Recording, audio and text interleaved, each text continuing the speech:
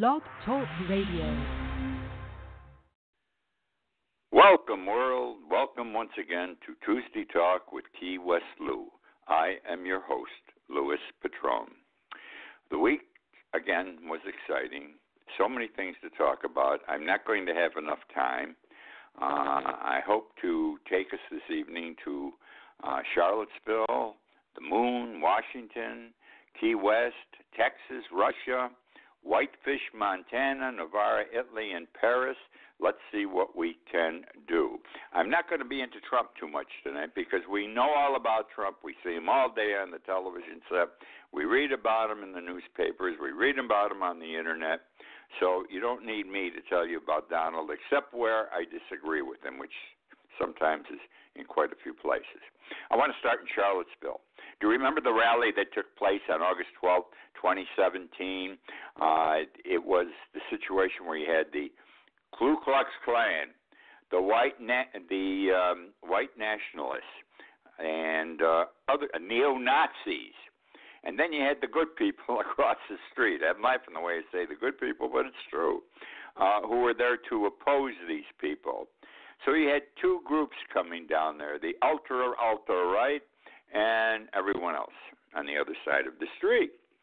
And tempers were rising. This this rally, by the way, this march was for purposes of one of the white nationalistic groups, the United Unite the Right rally. It was called. It was Unite the Right, and it was the Unite the Right rally.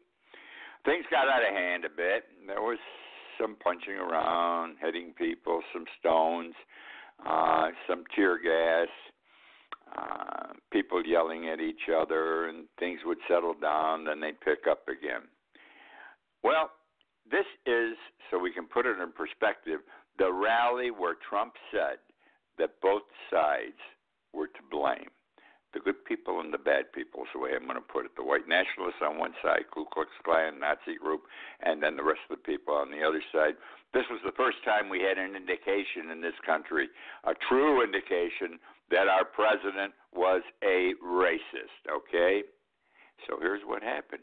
You recall that at some point, uh, a fellow by the name of, what's his name here?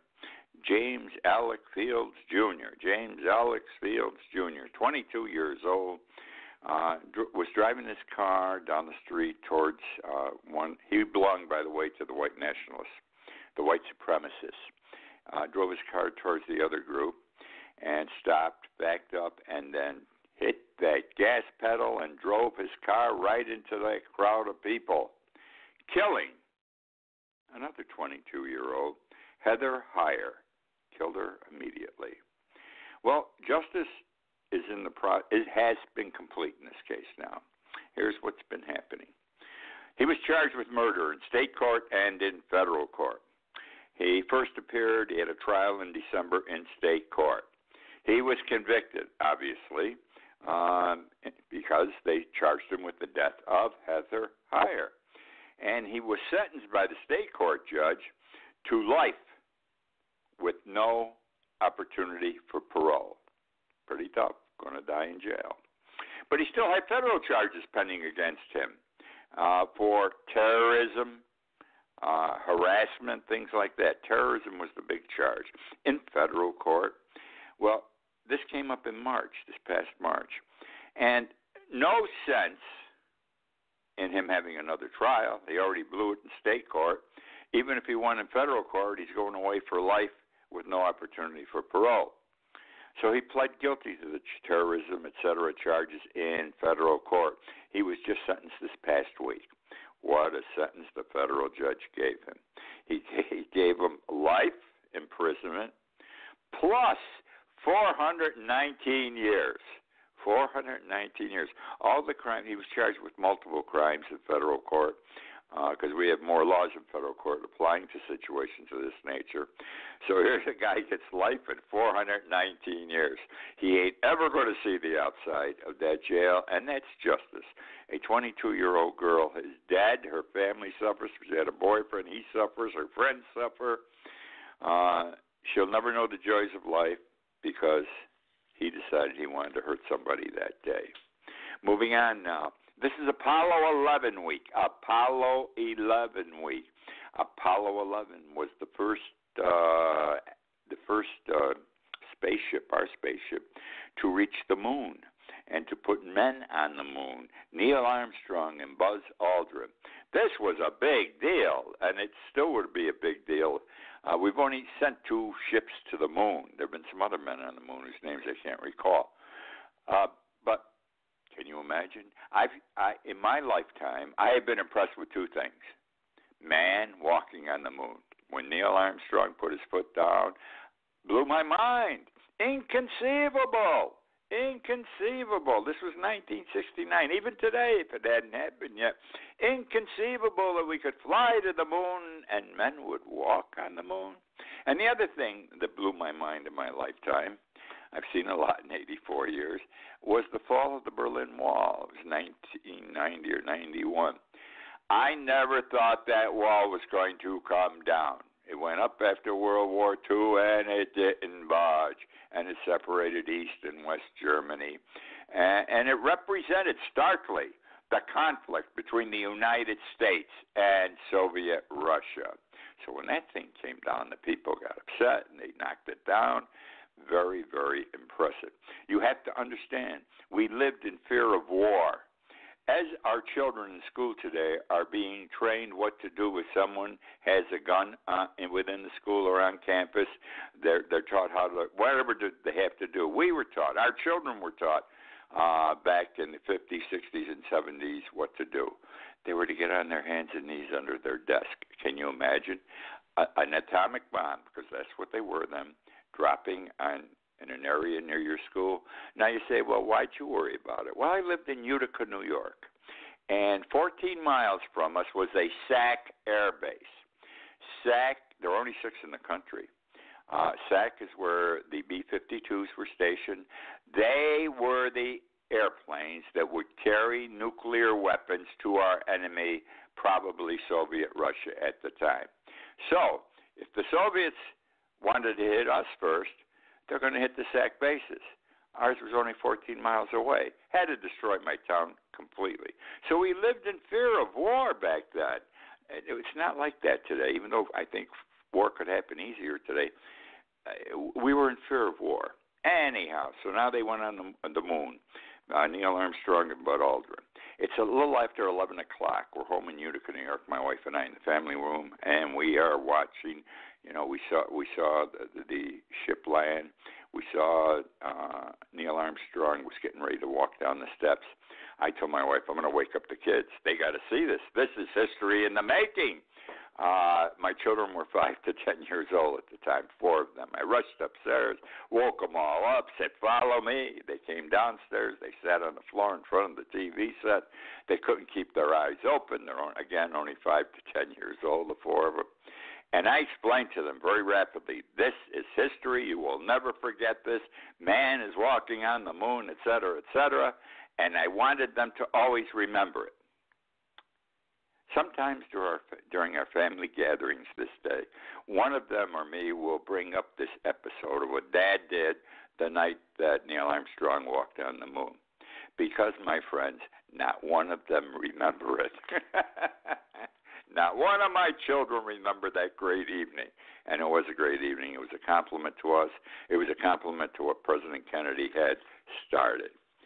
Now, if we go to the moon again, if we go to Mars, it's going to be a long time before you see a human being taking a ship there. The word is, from what I understand, that it will be robots that will be our space explorers, not humans it, there either will be no more Neil Armstrongs or it will be a very long time before there is a, another Neil Armstrong. Which brings me now to President Carter. President Carter is a nice guy, Jimmy Carter. He came out of nowhere to become president. He was a peanut farmer in Georgia, I think, or Alabama and he was governor down there. No one even knew him. He decided he wanted to run for president, and he won. Uh, he was only a one-term president. He probably was the worst president of our modern era. I've got to say that.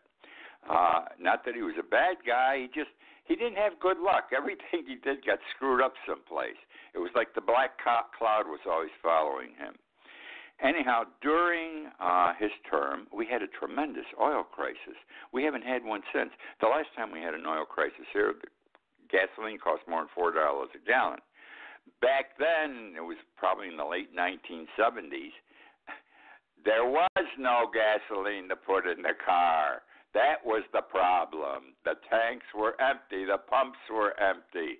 We didn't have enough heating fuel. It was disastrous, and we couldn't get it. The whole world was screwed up. I think Saudi Arabia and the uh, the Arab groups that were controlling oil at the time were doing this to raise the price, but we uh, we were taking a screwing big time. That's why he wasn't a good president. Everything bad happened on it during his uh, presidency.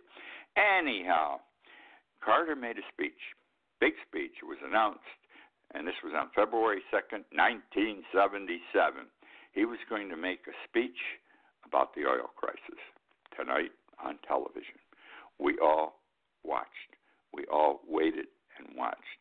What was he going to tell us? Hopefully, he would have some resolution to what, what was a terrible problem. I once waited in line in Pompano Beach, Florida, for three hours to reach the pump I was afraid there wasn't even going to be any more gas there when I got there to get get get some gasoline. And then you were limited five gallons and so forth. And heating fuel, good luck. Don't abuse it. Don't use it too much. Well, here's what Carter had to say. He was going to solve our problem, and it, this this contributed to his being thought of as a poor president. I hate to say it that way, but it's true. He says, turn the thermostat down to 60 degrees day and night, 60 degrees, and wear a sweater. And while he was making the speech, he wore a sweater, no jacket. He had a tie on and shirt, but he had a cardigan uh, button button up sweater uh, on him. He says you got to wear a sweater to keep warm, and you got to lower your thermostat so you don't burn as much fuel oil. Well, on February 2nd, 1977, that's the middle of winter in Utica, New York. I, I, I'm in the middle of New York State. I'm 240 miles north of New York City. It's cold. We had evenings 10, 20 degrees below zero. Zero and 10 and 20 above were warm, but you still froze your asses. I'm going to tell you right now, it was cold. And you want us to put the heat at 60 degrees? My God. It, it was ridiculous. So you can see how this poor guy, everything he did, he tried, it didn't work out right. Uh, he's the best president that we've ever had post presidency. Since he has left the White House, he has done so much good in this world. He has done more than any other former president in his afterlife as a non president. Uh, he, he has gone with uh, building groups, I forget what they're called, he and his wife go all over the world building houses for poor people. When there are special elections in some foreign nation, nations, a nation, foreign nation where there's uh, a contest and somebody may cheat and so forth, he goes there and he monitors the election. This is all for nothing. This is the kind of guy he is. And I'll tell you this too. He comes down here generally New Year's Eve, not to Key West itself. To some, he comes into Key West, but Summerland Key, which is 22 miles north of us here in Key West on US 1. Summerland Key, uh, he comes down there, he has a friend there, and he spends New Year's Eve with him every year on the open ocean. Good guy, wonderful guy, lousy president. Deutsche Bank. You've heard of Deutsche Bank in the last year or two. Uh, this supposedly it hasn't been proven yet anyplace. Supposedly is the bank that financed Trump after American banks wouldn't give him any more money because he put him into bankruptcy uh, with the Atlantic City properties.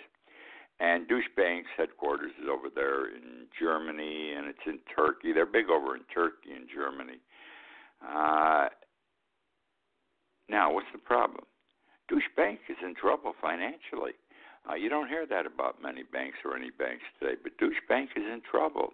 And the reason they're in trouble is they've been screwing around. For several years, they've been doing dishonest things. There's a lot of money laundering involved here, uh, and things like that. And they made crazy type loans, and they've been Trump's, Trump and his family's primary source of dollars. their their bank, uh, and we haven't heard anything on this yet. Got to get his tax returns and everything else to see if there's a connection with the Trump family. Anyhow, because of their uh, poor reputation, et cetera, it all catches up with you. They're not doing as well as they used to do. So it was announced two weeks ago that they were going into restructuring. They had a restructure, and they were going to lay off 18,000 employees. 18,000 employees. They announced it on a Friday, a week ago Friday. Uh, they announced it on a Friday morning and said we are already laying off some of our Asia employees. Monday morning, this is a week ago Monday, Monday morning, they were at the Deutsche Bank at 60 Wall Street, New York City. By 19 by 9:15, there were more people walking out of the bank than going in. It was reported in one of the newspapers that in the first half hour the bank was open, five people would walk out of the bank contrasted with one person walking in, which means all or most of the five people walking out had been people that were laid off. Because when you're laid off, you're gone immediately in these type situations. Uh, so that's the way that went. Now, they're in. I'll tell you how bad the shape is that they're in. Deutsche Bank says that even with the restructuring that they're doing, and they're taking drastic means to do it, 18,000 employees a lot, and they're probably going to have more going down the tubes, it still will result in a projected net loss of $8.3 billion in 2020. In other words, they can't get rid of all their debt. Their restructuring is restructuring is merely bringing their debt down to 8.3 billion dollars, and it won't be down to that level till 2002. Okay, I want to talk about something that's very close to my heart. And if you lived in Key West, it would be very close to your heart. And if you don't live in Key West, have never visited here, come down some year for Hemingway Days, Ernest Hemingway Days. Ernest Hemingway lived here for 10, 11 years. This is he and Harry Truman spent a lot of time here. Tennessee Williams, it's their city. We're proud of these people uh, that they came and they stayed for a while. Anyhow, Hemingway Days is once a year, and it starts tomorrow, Wednesday, and it concludes Sunday. It's the 39th anniversary of Hemingway Days. Its headquarters at world famous Sloppy Joe's. I mean, these names got to must excite you. Uh, and it's the same festival every year. I mean, they have a, a marathon, a five or fifteen k. I don't know. I don't run. Uh, they have all kinds of parties, dancing, band in the street. It, it's a wonderful event, daytime, nighttime, and, and it's a family type event too. Uh, and you get families down here. The two events that I like the most over these days are the running of the bulls and the Hemingway look-alike contest. The Running of the Bulls. Remember, I forget which book it was that Hemingway wrote. He was over in Spain and he watched the Running of the Bulls. Well, it's become a tradition here. We have the Running of the Bulls. I don't know, we got 20, 30 bulls. They're not real bulls. They're big. They're made of plywood, cardboard. They're on wheels. They look like bulls, not real ones, but those are our bulls. And we also have Hemingways. Ernest Hemingway is here we will have in excess of 150 Hemingways here. It is a contest every year. It's called the Hemingway Look-alike Contest. 150 men with white beards are going to come down here. They're a little potty. They'll be wearing the same attire, all of them uh, red cap, uh, white shirt, red bandana, holding up their white pants. And one of them will be selected as the Hemingway look-alike for the year. This is a great honor. These guys come down here because it's a great honor. They all want to be the Hemingway look-alike. And it takes an average of at least 10 years to make the grade. You got to come down and keep coming back, get to know people, and so forth. I ran in last week. Last week I ran in the chart room. I ran. I can't remember this gentleman's name, uh, but I've known him the last several years. He comes down for the Hemingway look-alike contest, and he looks like Hemingway and he participates in the Hemingway Look-alike contest every year. And this is his 26th consecutive year that he is participating. And he said, Lewis, this is the year. Sounded like Mel Fisher. This is the day. But that's the enthusiasm that goes with it. It's a wonderful event. It's exciting. That's all I can tell you. It is exciting. I have a very sad story to share with you. Maybe I don't understand what goes on in this world sometimes, but this is strange and this is a little bit heavy. Uh, I'm going to be talking to you now about a Texas court, a six year old boy, and a mother and father who are going through a divorce proceeding. Uh, the mother and father obviously don't get along. The they have a son, six years old. Jeff's his name. The mother says Jeff is transsexual. And even though he is body wise a male, he has a penis, in reality, he is a girl. So, she has raised him as a girl. She dresses him like a girl. She sends him to school like a girl. No one in the school, including the school administration, knows he is a boy. No one knows a boy. She has kept this absolutely secret. She moved to another area, another town. And she says, I'm doing this because it's good for my son. I wonder if she's doing it to spite her husband. But anyhow, it's good for my son. This is where his mind is. This is what he should be, and this is what he will be. He will be a woman because that is what he is. Well, she's already got this thing planned out. He's six years old. He's in the first grade. She says that when he's eight years old, she's going to have him castrated. You heard me. It's going to be a chemical castration. Still gets rid of the penis because this is going to be one of the steps to bringing him along so his body can be as his mind is, as she claims. I mean, eventually he'll probably have a sex operation, so uh, they'll put female sex organs down there. But can you imagine, eight years old, she's going to have him castrated. It appears the judge thinks this is a good idea. Her proof must be great that this kid is really female, not male. Uh, the judge has given custody of the child to the mother, and she continues to do what she has been doing. The father opposes the castration and the, this changing of his sex, as he puts it. He says he's a boy, he's a man, and he acts like a man. And what happens is when little James, little Jeff rather, is with his father, he is a boy. He acts like a boy. He's happy to be a boy. When he's with his mother, he's a girl. He's happy to be a girl. He tries to accommodate uh, from what I read, both parents by doing that. Anyhow, I just wanted to share this with you, and the court's inclined to go with the castration the, article indicated. Uh, I don't know. To me, it's legalized child abuse at that age. Which now brings us to I'm going to talk about Donald Trump. How's that? I finally reached Trump.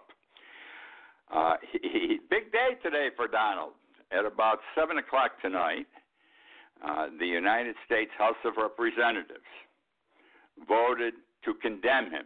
He was held in condemnation uh, because he treated four young ladies, four new female congresspeople, uh, as people of color. And they are people of color. But he insulted them. He said that they should go back from where they came. Now, this, you know, you, we've got some, uh, you can call them rebels, revolutionaries. They're just young people who got elected to the United States Congress, and they want to do something. They want to see our government change, not the way Trump is changing it, but in a better fashion. And of course, they're opposed to just about everything Donald Trump does. Well, when Trump came on, all these humanity, all these things he's doing at the southern border, they're upset with. Some of them went down there. They saw how awful it was, and they came back, and they were yelling and screaming on TV, and properly so. Uh, and so they said Trump is a racist. They didn't say Trump was a racist. They indicated that he was doing evil. They, this racism didn't come up yet. Trump didn't hesitate. He immediately sent out a tweet, and he said he said, and he said this again the next morning at a conference, press conference outside on the lawn at the White House. If these four women don't like this country, they should go back where they came from. Well, it just so happens three of them came from the United States. They were born here. And the fourth was born in Somalia, but at 14, she became a naturalized citizen. So he doesn't back off. You know how Trump is. He never backs off, and he keeps saying, hey, "This isn't racism. This is just the way it is. If they don't like it, here, get out." And these women, these four new female congressmen, they're young people. They took it as an affront. A lot of people took it as an affront. Republicans also. And tonight, for the second time in the history of the United States, the United States House of Representatives held in condemnation the President of the United States for what they considered words of racism that these girls should go, these ladies should go back from whence they came. By the way, this whole thing arose off over that $4.5 billion bill that was passed about six days ago to provide uh, humanitarian things for people at the migrants at the southern border. Uh, you know, food, water, you don't have to drink out of a toilet, a mattress to sleep on, or a bed, blankets, uh, medical care, showers, brush your teeth, toothpaste, the basics and they wanted to make sure these girls they didn't think it was right to give the money to the government because they felt Trump would misuse it and use it to try to build a wall or bring more soldiers down there or more ICE people. So they voted against it. They were opposed to it. Uh, they didn't have much of a following on the vote, but this was their position. And because of that, that's how this whole thing got started. And Donald threw a racist statement at them. We know Trump is a bigot. I say it unequivocally. And if you don't know it, something's wrong. Open your eyes, open your ears, hear what he says, see how he says it. The man has been a bigot from day one. So that's the story with these four ladies, and it works in opposition to Trump's position this time, because I think this voter condemnation is going to affect some people. You say, well, what difference does it make? Well, you don't want bad marks on your report card. And every president has a report card that follows him in history. Uh, so that's the story there. We shall see what happens. I'm sure Trump's going to have more to say on this issue tomorrow. I say I hope the Democrats as a group stand up more and more openly and bring the fight to Trump. It has to be done. Our country is at stake. The way we live is at stake. I'm not trying to be dramatic. And I know 50% of the people in this country are racist, are bigots too. Uh, they believe in white supremacy and everything else because that's the way it is. And Trump wasn't a genius that he got into this. He didn't create the, the the situation with racism and bigotry today. It was there before he ran for president. He spotted it though, and he took advantage of it. Smart man in that regard. I want to talk quickly about uh, Senator Lindsey Graham, senator for years. Uh, John McCain's best friend. They always seem to support the same things, generally, and they were always together. Buddies, buddies. Now, since McCain's gone, Lindsey Graham has become the asshole buddy of Donald Trump. He goes to Mar-a-Lago to play golf with him, and everything Trump does, no matter how bad it is, Lindsey Graham supports him. Graham had a position to take with these four girls, these four young congresswomen. He called them communists. Communists. I haven't heard that term applied to anybody in this country since the late 1980s, early 1990s. He's out of his mind. Sure, they're progressive. They may be socialists. Nothing wrong with that. Many great countries like Norway, Sweden, they're socialistic countries. The government provides everything. You pay high taxes, and the government takes care of you. They may be socialists. They are socialists. That doesn't make them communists. And that was wrong for him to do, and I'm shocked. And I don't consider him the great man I, I did uh, before he took this position. Anyhow, that's the show for tonight. I hope you enjoyed. I love doing the show. I, I hope you love hearing it. It must be because my numbers get bigger every week. I do a blog every morning. Uh, KeyWestLou.com. It's like the show, but it's in writing. You may want to read it. I know you'll enjoy it. If you enjoy the show, you'll enjoy my blog. It's longer, more issues entertained. KeyWestLou.com. Give it a shot for no other reason than I think you will enjoy it. I already ha- I have 60,000 subscribers. I started doing this 13 years ago, this blog. Never promoted it. I'm promoting it right now because it's so good. I want people to read it. That's the story. My time is over. Good night. Talk with you next week.